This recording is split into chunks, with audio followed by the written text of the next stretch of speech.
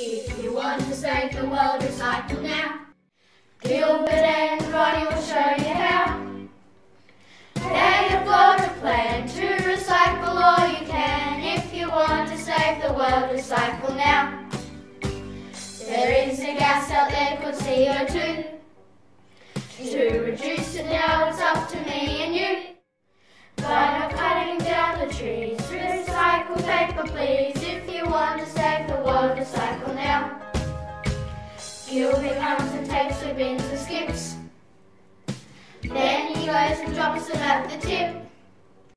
Ronnie takes the rest because recycling is the best. If you want to save the world, recycle now.